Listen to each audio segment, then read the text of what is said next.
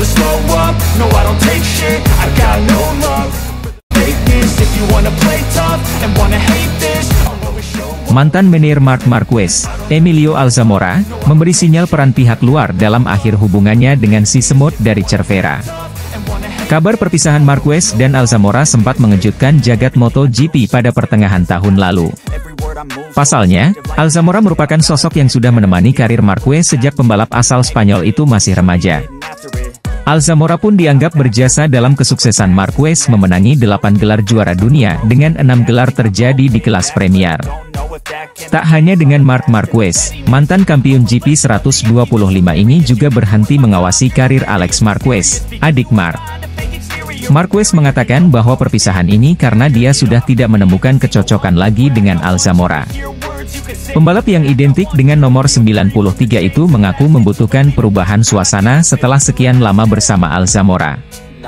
Ketika ada hasil buruk dan masalah, kita membutuhkan perubahan suasana, ucap Marquez dalam video dokumenter Mark Marquez seperti dikutip dari Crash. Di situlah menir baru, Jaime Martinez masuk. Marquez menjelaskan bahwa hubungannya dengan Alzamora menjadi renggang dalam beberapa tahun terakhir. Pada titik tertentu, setelah bertahun-tahun, hubungan kami dengan Alzamora seperti sebuah pernikahan, ucap Marquez.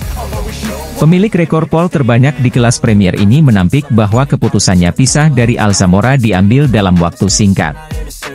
Sebelumnya, menir pembalap kawakan, Carlo Pernat, melempar rumor bahwa pemecatan Alzamora merupakan permintaan dari Honda. Itu tidak terjadi dalam semalam. Selama beberapa tahun kami bisa merasakan ada sesuatu yang hilang, ungkap Marquez.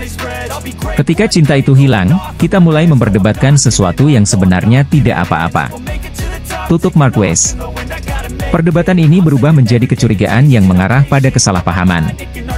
Semua itu menumpuk sampai kita bertanya pada diri sendiri, apa yang saya inginkan untuk karir olahraga saya, Marquez menegaskan. Gegekan MotoGP 2023, baru-baru ini Emilio Alzamora mengungkapkan bahwa perceraiannya dengan Marc Marquez disebabkan oleh pihak ketiga. Seperti yang diketahui, pada musim panas lalu Marquez menyampaikan bahwa kerja samanya dengan Emilio Alzamora telah berakhir. Hubungan mereka harus kandas setelah 18 tahun bekerja sama. Perlu diketahui, saat Mark Marquez berusia 12 tahun, Emilio Alzamora sudah menemuinya dan kemudian menjadi manajernya selama enam musim di kelas MotoGP. Emilio Alzamora membeberkan bahwa ada pihak ketiga yang menyebabkan terpisahnya dengan Marquez bersaudara. Dia juga tidak melupakan beberapa kenangan yang telah dilaluinya selama lebih dari 10 tahun. Selain itu, Alzamora menjelaskan keberhasilan Mark Marquez di MotoGP murni karena bakatnya. Terkait hal itu, Mark Marquez menyampaikan bahwa ada masalah buruk yang membuat hubungannya dengan Emilio Alzamora retak. Untuk mengatasinya, Marquez bersaudara memutuskan memecat Alzamora dan mendatangkan menir baru, Jaime Martinez. Sebelum pemecatan tersebut, Marquez menuturkan sudah merasakan suasana yang berbeda dengan Emilio Alzamora, yang mengarah pada permasalahan. Selain hal itu, rider Repsol Mark Marquez mengaku merindukan panasnya persaingan di papan atas dan barisan depan balapan di ajang MotoGP 2023.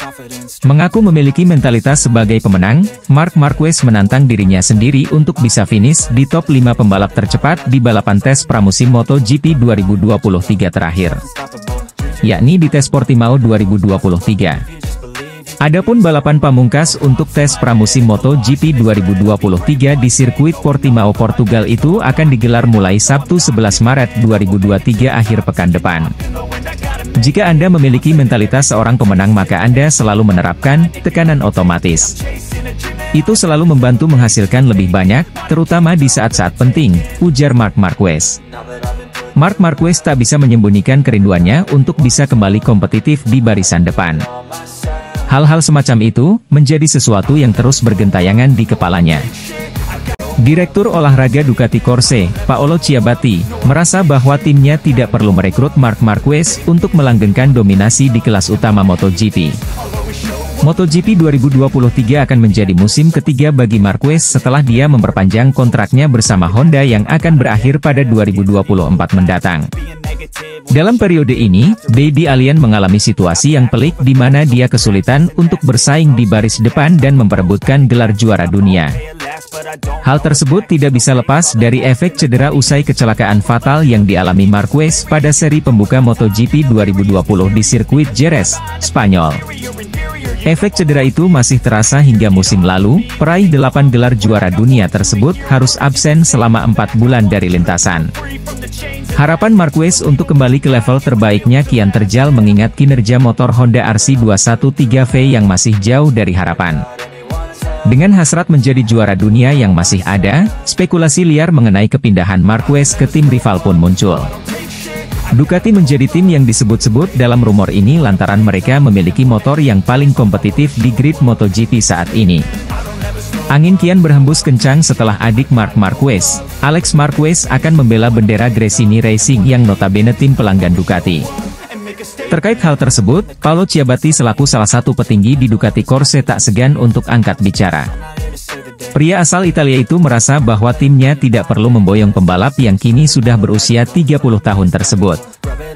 Ciabatti beralasan saat ini pasukan Borgo Panigale sudah memiliki alien sendiri dalam diri Francesco Bagnaia. Ya, pembalap jebolan Akademi Valentino Rossi itu memang tampil mengesankan pada musim lalu dengan menjadi juara dunia. Dia menghapus dahaga gelar juara yang dirasakan Ducati sejak terakhir kali merengkuhnya bersama Casey Stoner pada musim 2007 silam. Bukan berarti Ducati tidak membutuhkan makhluk luar angkasa, seperti Marquez, itu karena Ducati sudah memilikinya sendiri, kata Ciabatti, dilansir dari Motorsport. Pembalap Aruba It Racing Ducati, Alvaro Bautista keluar sebagai pemenang race 1 WSBK Mandalika 2023 yang berlangsung di sirkuit Mandalika, Sabtu, 4 Maret 2023, siang. Tak lama setelah start, Michael Ruben Rinaldi langsung terjatuh pada tikungan pertama setelah terlibat insiden dengan Axel Bassani. Pembalap Pata Yamaha, Toprak bisa memimpin balapan di sirkuit Mandalika berlangsung 4 lap awal. Ia dibuntuti oleh Alvaro Bautista dan Bassani. Namun situasi berubah di lap ketujuh. Bautista berhasil melewati Toprak yang kemudian harus rela turun ke posisi kedua. Posisi pertama itu mampu terus dijaga oleh Bautista. Pembalap asal Spanyol itu bahkan perlahan mampu menjauh dari kejaran Toprak dengan 13 lap tersisa. Basani yang awalnya terlihat nyaman di posisi ketiga juga tergusur posisinya. Ia dilewati oleh rekan setim Toprak, Andrea Locatelli pada lap ke-11. Basani bahkan harus turun ke posisi kelima saat balapan tersisa 10 lap lagi. Kali ini Basani dilewati oleh Alex Lowe's.